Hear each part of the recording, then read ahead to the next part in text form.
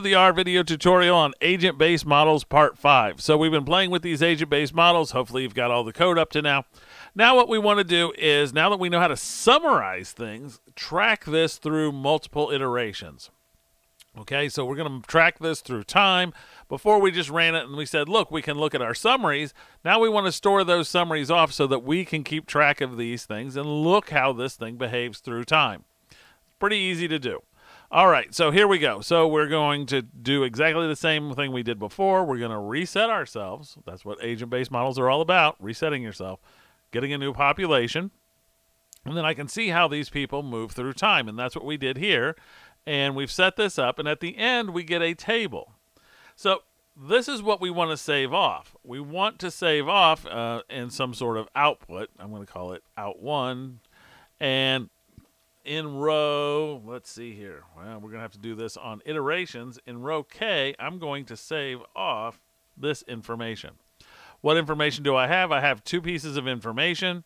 Now i need to define out k or out one. So up here, I'm going to put out one is going to be what's going to just or hold my, all of my results. So let's see here. I'm going to need it to be a matrix. I don't need it to be a matrix, but I'm going to make it a matrix. The number of columns is equal to 2 because I'm just recording right now whether they're in the susceptible or exposed group. And the number of rows. So this is how many time points I'm going to push this into the future. So I'm going to call it n time 1, which I'm going to need to define. So n time 1, which is going to be, let's suppose I'm going to move this 10 days into the future. Okay? So this is how far to run the model forward.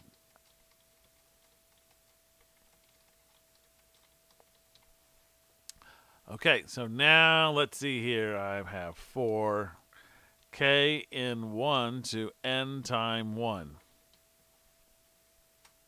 Okay. Put our brace there, then go all the way down to the bottom and put our brace. I'm going to indent this in because it makes it easier for me to read. Okay, because this is going to be moving the people through time.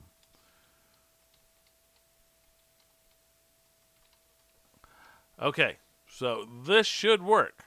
Let's hope. Unless something is dimensioned wrong. This should work and should give us an out one table at the end. Okay, so it moved each one of these people forward. So I can look at out 1K, and here we go. We can see we started off after the first iteration, not the very first one, with two people exposed, 98 susceptible. But as we moved through time, by the eighth period, 100 people were, 100% of the people, or 100 people were exposed and these are the susceptible people because it goes alphabetical order and you need to keep that in mind as you're doing that.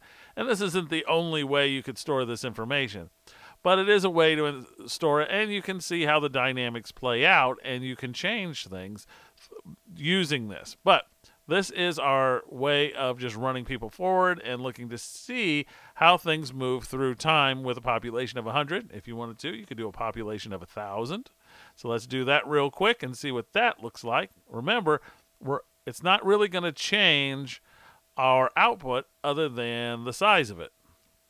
So we can look at the size out 1K here in just a second once it finishes. Out 1. And we started off, after one iteration, we had nine people who were exposed and 991 who were susceptible. By the time we ended up we only had five susceptible. So people are changing from one group to the other. And that was based off of how many people they met and what this rate here was, of which when they meet, do they become infected. And you can change that really easily and just change it to 2, uh, 0.02 or 0.25 and run this again really quick. So I'm going to run all of these agents through here, all the way from the top down to the bottom, through in forward and it'll just take a second and we can look and see what this ends up looking like for these people. Here's out one. And notice it took a lot longer, right? Now we still have 633 susceptible.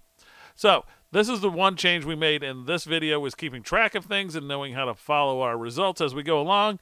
In the next video, we're going to change how we choose who mixes with who, since we're getting a larger population and we can play with more numbers. But we'll do that in the next video. Talk to you later.